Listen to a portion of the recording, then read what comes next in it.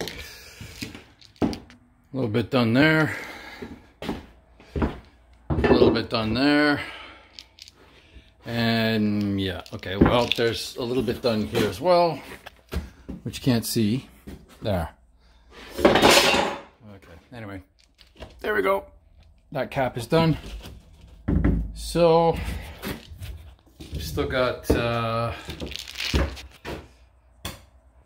that business to take care of, but at least it's opened up. And I got to do that little piece over there. Oh, and I, I managed to get that done as well. Um, probably more important than the pieces of drywall that are yet to uh, be done are, hmm, hmm.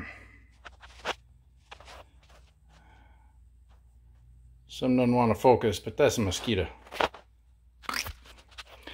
That was a mosquito.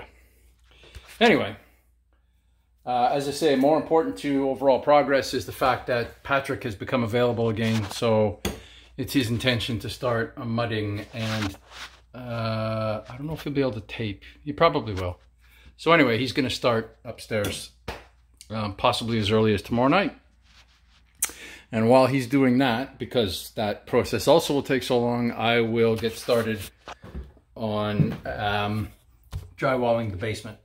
So in the basement, all I have to do is the parts that are exposed green foam have to be covered up.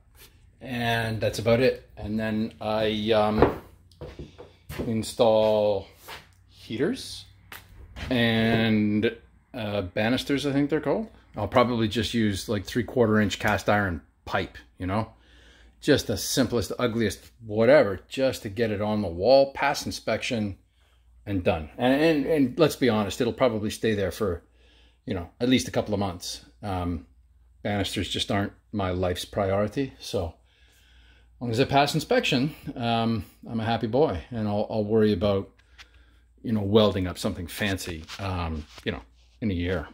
So suggestions are most welcome. Bye.